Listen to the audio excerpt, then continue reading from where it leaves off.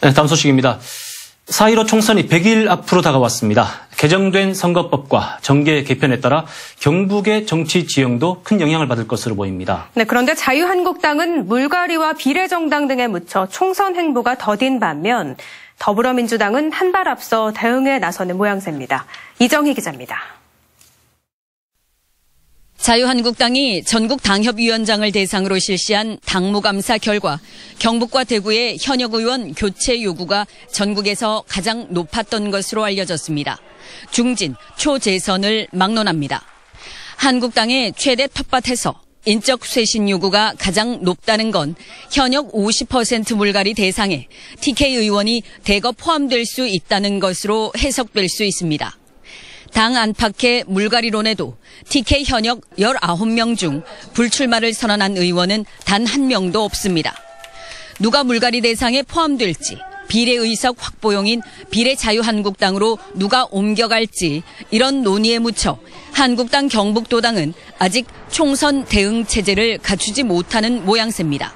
50% 60% 이상 현역 의원이 컷오프 상황이다. 경북도당의 경우에는 자기 자신의 공천 과정에서의 물갈이 때문에 총선 준비는 거의 못하고 있는 것 아닌가.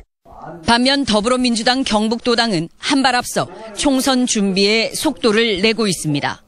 지역구별 후보 검증 작업이 중앙당 차원에서 진행되고 있고 일부 지역은 예비 주자가 몰려들고 있습니다. 구미갑은 민주당 국회의원 예비후보 신청자만 4명입니다. 민주당 경북도당은 이번 총선에서 처음으로 전 지역구에 후보를 내겠다고 밝혔습니다. 경쟁이 벌어지고 있는 지역도 있는 걸 있는 상태입니다. 아, 과거에 비해서 어, 당선 가능성과 승리 가능성을 아주 높게 보고 있다는 반증입니다. 이번에 반드시 의미 있는 성과를 또 총선과 함께 치러질 상주시장 재선거에 대비해 상주 농민회장을 지낸 조원희 상주 로컬푸드 협동조합 이사장을 민주당 경북도당 인재영입 1호로 발굴해 후보로 내세울 예정입니다. 선거구 획정. 보수 텃밭에서 생애 처음으로 정치 성향을 드러낼 만 18세 청소년 유권자의 표심. 처음 도입된 연동형 비례대표제. 이런 변수가 더해져 경북의 총선 구도는 갈수록 흥미로워지고 있습니다.